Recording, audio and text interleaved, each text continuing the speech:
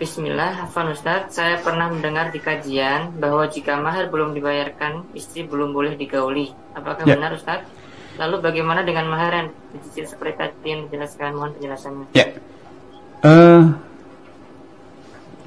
para ulama telah menjelaskan bahwa hukum asal mas kawin itu boleh diberikan secara tunai, boleh dilakukan secara terhutang. Dan kalau dalam akad tidak ada syarat bahwa suami hanya boleh menggauli istrinya ke- eh, set- kecuali setelah eh, membayar mas kawin, maka hukum asalnya boleh digauli. Karena selama sudah ada kesepakatan mas kawin yang terhutang tersebut, suami istri. Dan kalau sudah sudah sah menjadi suami istri, maka boleh untuk mereka kemudian bergaul. Kecuali bila istri bersyarat bahwa ia tidak mau digauli kecuali setelah mas kawinnya dibayarkan. Walau demikian, disunnahkan, saya katakan disunnahkan bagi suami untuk menyegerakan sebagian mas kawin sebelum dia menggauli istrinya. Menyegerakan sebagian mas kawin sebelum ia menggauli istrinya. Itu hanya sebatas sunnah saja.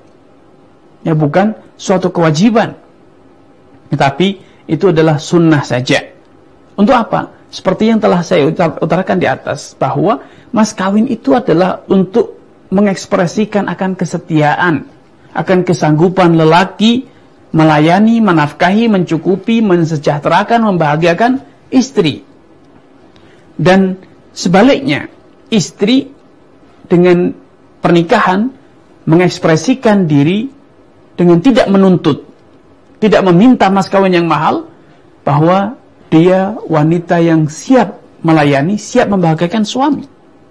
Nah kalau istri sejak awal sudah siap melayani istri berhubungan badan, namun ternyata suami belum membuktikan akan kesetiaannya, akan kesanggupannya, berkorban, menafkahi, mencukupi, membahagiakan. Tentu ini kurang fair. Maka itu, walaupun boleh mas kawin itu terhutang, tetapi disunnahkan untuk menyegerakan sebagiannya sebelum suami menggauli sang istri. Sehingga ini bukan kewajibannya, itu hanya sunnah saja. Wallahu ta'ala a'lam.